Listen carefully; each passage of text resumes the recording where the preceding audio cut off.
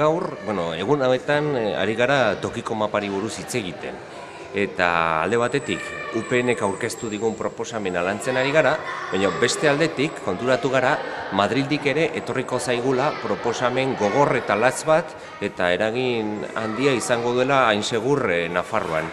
Hain zuzen ere, e, UPNren proposamena ez da sartzen e, eskuduntzen hauzian, ez eta udalen finantziazioan, baina e, Madrildik datorren proposamenak bai, horrelako gaiak ukitzen ditu. Eta ukitzen ditu hain zuzen ere murrizteko.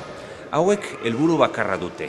Eta helburu hori da e, eskuduntzak e, kentzea udalei hobeki kontrolatzeko, udalen autonomia murrizteko eta gero dirua aurrezteko. Ez dute diruri gastatu nahi udal zerbitzuetan eta e, udal zerbitzu horiek hain zuzen ere nahi dutena da privatizatu.